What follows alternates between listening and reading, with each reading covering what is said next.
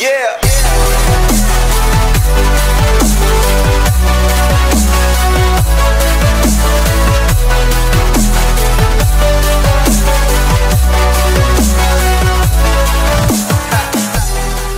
Hello guys welcome to the HT news series जिसमें आपको देता हूँ हॉलीवुड और सुपीरो मूवीज़ और सुपीरो टीवी सीरीज़ से रिलेटेड सारी न्यूज़ तो आज की हेडलाइंस देखने से पहले आप सभी का बहुत बहुत थैंक यू क्योंकि आप हमारी सीरीज़ को, यानी कि एच न्यूज़ सीरीज़ को बहुत ही सपोर्ट दिखा रहे हो।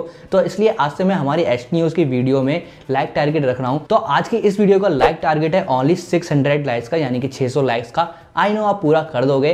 तो गाइस अब देखते हैं कि आज की हेडलाइंस कैसी हैं। सो अभी हाल ही में रिपोर्ट के अकॉर्डिंग ऐसी न्यूज़ आई है कि ब्लैक पेंथर मूवी के सीक्वल में डॉक्टर डूम का अपेयरेंस हो सकता है। जल्दी वार्नर ब्रोस की तरफ़ से अपकमिंग बैटमैन गेम की अनाउंसमेंट हो सकती है। इसके अलावा फेलकॉन टीवी सीरीज़ के सेट इमेजेस से एक बहुत बड़े कैरेक्टर का एमसीयू में डेब्यू कंफर्म हो चुका है। इसके अलावा क्या कभी क्विक सिल्वर एमसीयू में रिटर्न हो सकता है? इसको लेकर कुछ अपडेट आई है। अब वो अपडेट क्या है, वो जानने के लिए इस एपिसोड को लास्ट तक ज़रूर देखना। वैसे इसके अलावा भी आपको और कई न्यूज़ इस एपिसोड में देखने को मिलेंगी।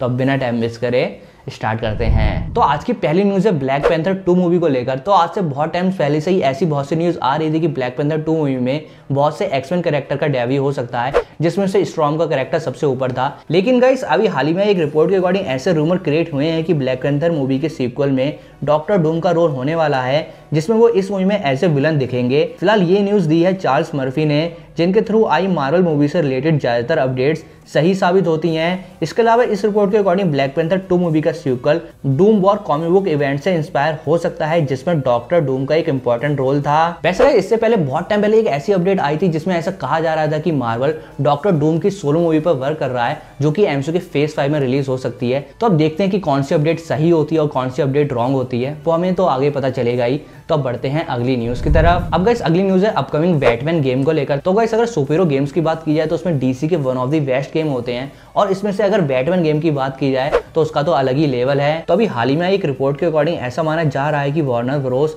अगले महीने तक अपने न्यू बैटमैन गेम को अनाउंस कर सकता है। फ़िलहाल जिस सोर्स ने ये न्यूज़ दी है, वो इस बात को पूरा कंफर्म तो नहीं कर रहे हैं, लेकिन ये वही सोर्स है जिसने पिछले कुछ ईयर्स तक बैटमैन के गेम्स को लेकर एक्यूरेट न्यूज़ दी थी। वैसे क्या बैटमैन का यह अपकमिंग गेम बैटमैन के Arkham Asylum Arkham Knight Arkham Origin जैसे गेम को टक्कर दे पाएगा, वो कहना थोड़ा मुश्किल है, क्योंकि बैटमैन के ये गेम ऐसे थे जिन्हें one of the best Batman game consider किया जाता है। तो देखते हैं आगे इस गेम को लेकर क्या अपडेट आती है। तो अब बढ़ते हैं अगली न्यूज़ की तरफ़। अब गाइस अगली न्यूज़ बहुत ही शॉकिंग है, क्योंकि ये न्यूज़ है एमसीयू में न्यू बकी वांस के डेब्यू को लेकर। तो अगर एमसीयू में गवर्नमेंट की तरफ़ से न्यू कैप्टन अमेरिका यानी कि जॉन वॉकर को इंट्रोड्यूस किया जा रहा है तो इसके पैकेज के साथ न्यू वकी वांस का तो आना कन्फर्म ही है। अगर आप नहीं समझ रहे हैं इस न्यूज़ को तो मैं आपको इस अपडेट के ज़रिए समझाता हूँ। तो अभी हाल ही में आई मर्फी मल्टीवर्स मीडिया वेबसाइट की रिपोर्ट के अकॉर्डिंग एमसीयू में जॉन वॉकर के साथ लेवान हॉस्किंस अपियर हो रहे हैं, जिसे मार्वल यूनिवर्स में बैटल स्टार और न्यू वकी के नाम से रेफर किया जाता है। वैसे ये रिपोर्ट आई है Falcon and the Winter Soldier की इन सेट इमेजेस के अकॉर्डिंग जिनमें फ़िलहाल हॉस्किंस नेम टीज हो रहा है। यही नहीं, कुछ इमेजेस में जॉन वॉकर एक्टर के साथ एक अदर एक्टर भी अपियर हो रहा है, जो मे भी वही एक्टर हो सकते हैं जो एमसीयू में लेमार हॉस्किंस का रोल प्ले कर रहे हो। फ़िलहाल अगर आपको जॉन वॉकर और लेमार हॉस्किंस की हिस्ट्री नहीं पता है तो गाइस 1986 की कैप्टन अमेरिका कॉमिक्स के इश्यू 323 में लेमार हॉस्किंस और जॉन वॉकर का मार्वल यूनिवर्स में डेब्यू हुआ था, जहाँ इश्यू 333 में जॉन वॉकर को सुपर ह्यूमन स्ट्रेंथ मिलने के बाद गवर्नमेंट ने जॉन वॉकर को न्यू कैप्टन अमेरिका बनाया था, जिसके बाद अगले इश्यू 334 में लेमर हॉस्किंस को जॉन वॉकर के साइड के तौर पर as a new Bucky appoint किया गया। तो गाइस इस तरह से हमें एमसीयू की इस अपकमिंग सीरीज़ में ऐसे कुछ प्लॉट देखने को मिल सकता है, जहाँ पर हमें एक तरफ़ एमसीयू के न्यू कैप्टन अमेरिका यानी कि फैल्कॉन और वकी वांस होंगे, और दूसरी तरफ़ होंगे गवर्नमेंट के कैप्टन अमेरिका और वकी वांस जो एक तरह से उनकी कॉपी है। तो इन दोनों में से कौन जीतेगा, वो हमें देखने को मिलेगा Falcon and the Winter Soldier TV series में।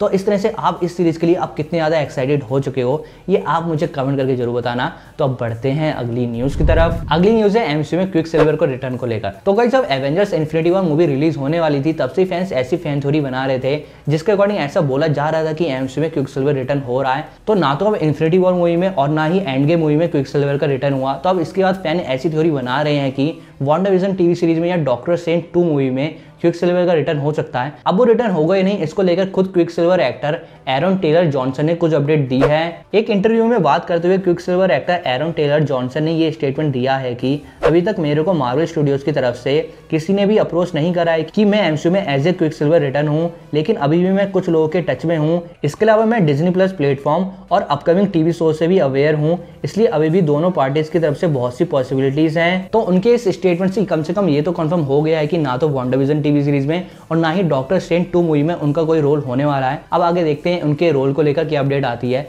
पर हाँ ये कह सकते हैं कि आने वाले तीन चार सालों तक क्विक सिल्वर का एमसी में कोई रिटर्न नहीं है। अब गाइस अगली न्यूज़ है जेम्स गन की सुसाइड स्क्वाड मूवी को लेकर। तो शायद आपको पता ना हो तो 2010 में जेम्स गन की सुपर हीरो मूवी जॉनर में एक सुपर हीरो मूवी आई थी, जिसका नाम सुपर था। अब गाइस मैं उस सुपर हीरो मूवी की बात क्यों कर रहा हूँ और इसका सुसाइड स्क्वाड से क्या कनेक्शन होने वाला है, ये आपको पता चलेगा इस अपडेट में। तो गाइस दो में आई जेम्स गन की सुपर मूवी एक R rated vigilante super hero movie थी, जिसको सभी फैंस ने बहुत ही ज़्यादा पसंद करा था। और अभी हाल ही में एक रिपोर्ट के अकॉर्डिंग जेम्स गन की सुसाइड स्क्वाड मूवी को आर रेटेड रेटिंग मिल सकती है, जिसके बाद ये मूवी जेम्स वन के करियर की सेकंड मूवी बन जाएगी। जिसको सभी फैंस आर रेटेड वर्जन में एंजॉय कर पाएँगे। वैसे डीसी की जोकर मूवी के सक्सेस के बाद कहीं ना कहीं डीसी को बहुत ही ज़्यादा कॉन्फिडेंस मिल गया होगा कि वर्ल्ड वाइड बॉक्स ऑफ़िस पर R rated super hero movie भी बहुत अच्छा कलेक्शन कर सकती है। तो बढ़ते हैं अगली न्यूज़ की तरफ़। अब अगली कुछ न्यूज़ है अदर हॉलीवुड प्रोजेक्ट को लेकर। तो अभी हाल ही में ऐसी रिपोर्ट आई है कि वार्नर ब्रोस की upcoming streaming service HBO Max पर कई डीसी कैरेक्टर्स की सोलो मूवीज़ रिलीज़ हो सकती हैं, जिसका बजट मैक्सिमम 65 मिलियन डॉलर्स रखा गया है।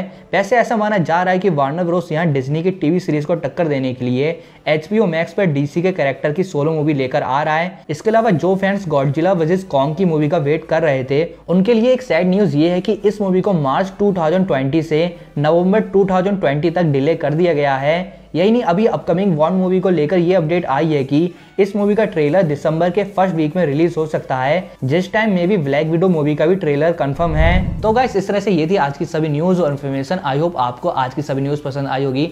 वैसे अगर आप मेरे को पहली बार बोलते हो, सुन रहे हैं, और अगर आपने अभी तक हमारे चैनल को सब्सक्राइब नहीं करा है तो ज़रूरी सब्सक्राइब करें। क्योंकि यहाँ पर मैं ऐसी आपके लिए सुपर हीरो मूवी से रिलेटेड सारी अपडेट लेकर आता रहूँगा। तो इसी के नोट पर मैं अंकित, मिलता हूँ आपसे नेक्स्ट वीडियो में। तब तक के लिए थैंक यू एंड Bye.